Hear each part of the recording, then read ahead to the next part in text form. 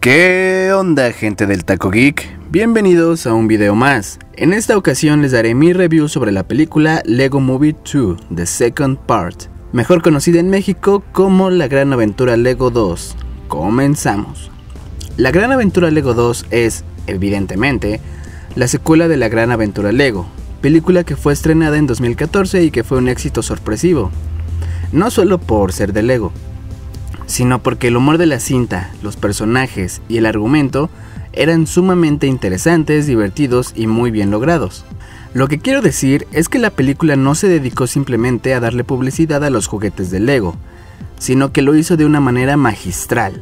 Esto gracias a la excelente dirección de Phil Lord y Christopher Miller, quienes se han dedicado a hacer películas de comedia y de este tipo. Lógicamente una secuela no iba a ser desaprovechada viendo el éxito de la primera parte, y fue así que poco tiempo después se anunció la cinta con un estreno inicial programado para mayo del 2018, la cual sería dirigida por Rob Schreit reemplazando a Lordy Miller, quienes volverían pero como guionistas.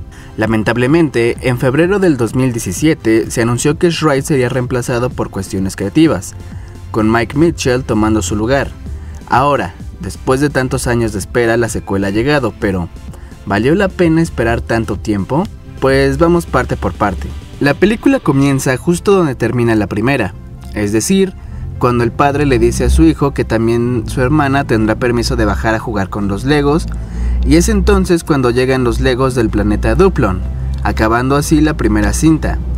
Como dije, esta cinta comienza justo ahí, cuando los Legos del planeta Duplon comienzan a destruir la ciudad sin que los maestros constructores puedan hacer algo para detenerlos. Los ataques de estos seres continuaron por 5 años, devastando la ciudad por completo y al parecer para siempre, ya que como se vio en el trailer, los habitantes de dicha ciudad, ahora renombrada como Apocalisburgo, se volvieron rudos, con la notable y obvia excepción de Emmet, quien sigue siendo el más alegre y optimista, para disgusto de Lucy, alias estilo libre. Un día, Emmet le cuenta a Lucy que soñó con el Armamagedón, que es básicamente el apocalipsis para los Legos, donde son almacenados por toda la eternidad, aunque al inicio no le toman importancia, poco después aparece una nave extraña, cuya piloto secuestra a Lucy, Batman, Barba Metálica, Unikitty y Benny, por lo que Emmet se da la tarea de rescatarlos, conociendo poco después a Rex Dangerbest, quien le ayudará en su cometido.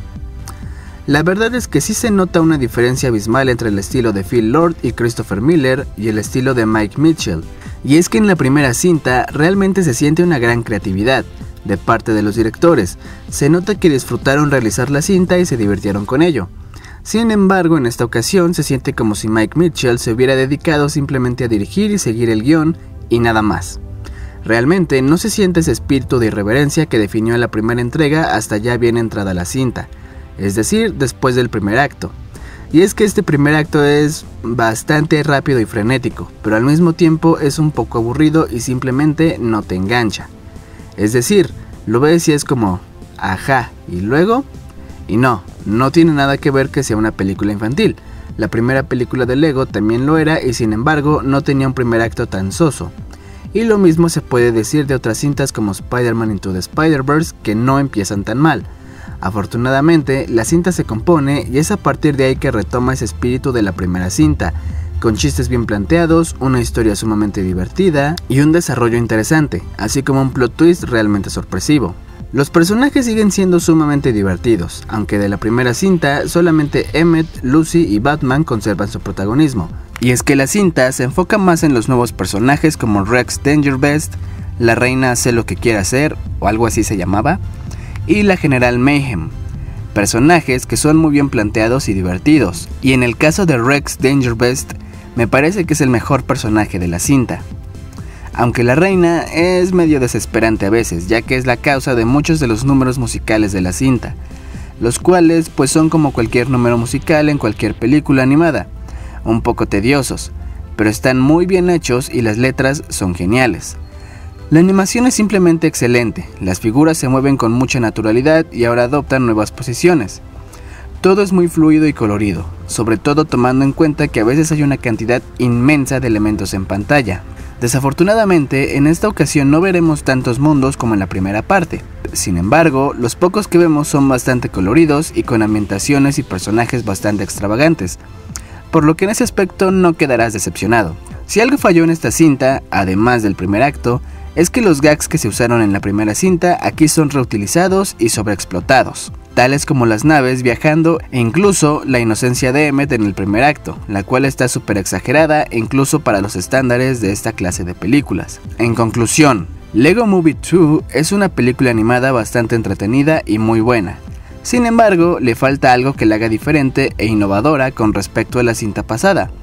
Y es que sí, Estoy bastante seguro de que el cambio de dirección tuvo que ver con esto. Y aunque suene feo, creo que si la película al final funcionó fue por la intervención de Lordy Miller. Mike Mitchell simplemente no pudo con ese trabajo. Claro, los más pequeños la van a disfrutar muchísimo y amarán a los nuevos personajes. Pero lo cierto es que si eres mayor probablemente no te diviertas mucho con los primeros minutos.